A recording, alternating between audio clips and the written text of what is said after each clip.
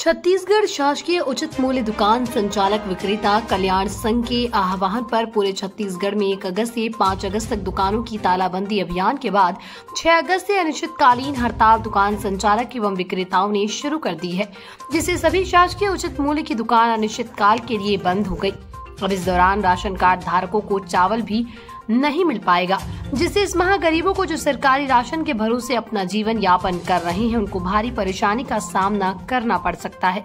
प्रदर्शनकारियों ने बताया कि विक्रेताओं की मांग के अनुरूप कमीशन वृद्धि, मानदेय व्यवस्था लागू करना, खाद्यान्न कटौती बंद करने के साथ ही वेबसाइट लागू करने खाद्यान्न में तीन प्रतिशत सुखद भंडारण की क्षतिपूर्ति एवं कमीशन की राशि सीधे विक्रेता संचालक के खाते में प्रदान करने और उचित मूल्य की दुकानों के लिए सरकारी भवन आवंटित करने जैसी लंबित मांगों को लेकर विक्रेता कल्याण संघ ने मांग रखी है। हम शासन से मांग करते करते थक चुके हैं। शासन हमको हल्के में ले रहा है। जानता है कि राशन दुकान वाला अकेला है, लेकिन हमको हल्के में ना ले। एक राशन दुकानदार 500 लोगों की क्षमता रखता है। जब मुख्यमंत्री स्वयं ने पूर्व में मान लिया है, लोकसभा चुनाव हम राशन विक्रेताओं के कारण हारे हैं तो आप राशन विक्रेताओं को अनदेखी क्यों कर रहे हैं? आज हमें आठ महीने से कमीशन की राशि नहीं दी गई है, दो वर्षों, तीन वर्षों का बारदाना का राशि नहीं दी गया है, वित्तीय पोषण राशि दो वर्षों से नहीं दिया गया है ई कोष राशि दो वर्षों से नहीं दिया गया है। कम से कम जो सुचारू रूप से हम राशन दुकान चला रहे हैं उसकी कमीशन राशि आज हमको आठ महीने से नहीं दिया गया है। आज हमें भूखों मरने की स्थिति में हम लोग आ गए हैं इसलिए आज धरना प्रदर्शन के लिए बाध्य हुए हैं। हमने पाँच दिन तालाबंदी की उसके बाद भी शासन के कानों में जू नहीं रहेंगी तो उसके मद्देनजर आज से हम लोग धरना प्रदर्शन के लिए बाध्य हुए हैं निश्चित कर। कहाँ कहाँ शामिल हुए दुकानों में लगी ताला तलब कोन्हों नहीं मिली निवाला क्योंकि छत्तीसगढ़ सरकार की जन प्रणाली व्यवस्था के तहत ही छत्तीसगढ़ के गरीब जनताओं की पेट में अनाज डालने का जो काम है, ये पीडीएस दुकानदार करते हैं।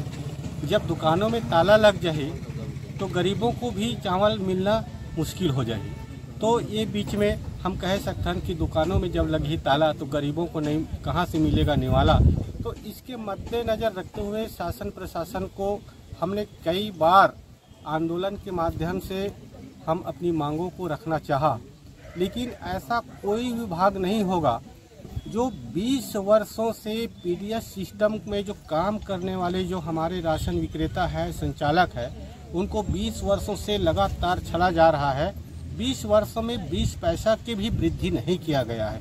ये सबसे बड़ी विडंबना है।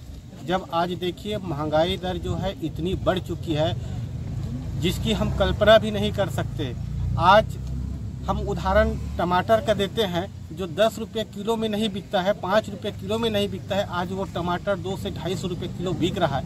ये महँगाई है, लेकिन आज पूरे छत्तीसगढ़ में जो है पीडीएस दुकानदारों की अनदेखी की जा रही है। रही बात, जब भारत सरकार ने one nation one ration card की बात कही है, और केंद्र सरकार ने सत्तर रुपये जो हमारी जो कमीशन था, उसमें बीस रुपये की बढ़ोतरी किया है लेकिन उस बीस रुपया की जो अंतर की राशि है, आज वो 16 महीने से राज्य सरकार जो है, हमारे विक्रेताओं को प्रदाय नहीं की जा रही है। और हमारे जो मूल कमीशन है, वो पिछले आठ महीने से हमारे राशन विक्रेताओं की, हमारे संचालकों की खाते में पैसा नहीं जा रहा है। बात पखांजूर से विप्लव कुंडू की रिपोर्ट।